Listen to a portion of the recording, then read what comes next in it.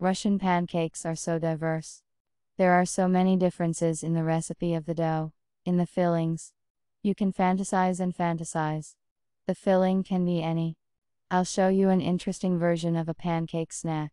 In a bowl, break one egg. Add one cup of milk, one teaspoon of salt, and one teaspoon of sugar. Whisk everything with a whisk until fluffy foam. Sift the flour.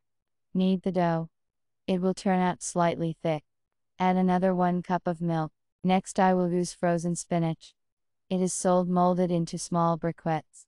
This spinach has already been chopped. So I just defrost it, and add it to the dough.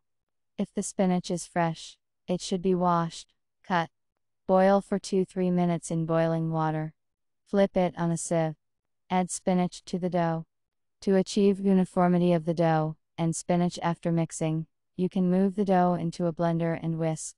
Add 2 tablespoons of vegetable oil to the dough. Whisk. For the first pancake, add a little vegetable oil to the pan. Pour a portion of dough into a well heated frying pan. On a small fire, fry the pancake on one side, turn it over on the other. I'm frying in a small frying pan. I got 15 of these pancakes. You can fry in a standard frying pan but you will get fewer pancakes. Prepare the filling. To do this, grate boiled eggs on a coarse grater. Add mayonnaise to the egg, spices to taste, salt and pepper. You can add greens. I divided the total number of pancakes and toppings in half.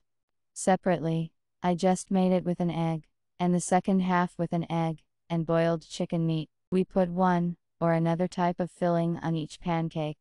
Roll up into a roll. Done. We serve pancakes to the table. You can do it right away, but they are also very tasty chilled.